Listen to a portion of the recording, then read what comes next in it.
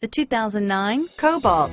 The Chevy Cobalt has awesome fuel economy, smooth ride, quiet cabin, and excellent performance, and is priced below $10,000. This vehicle has less than 95,000 miles. Here are some of this vehicle's great options.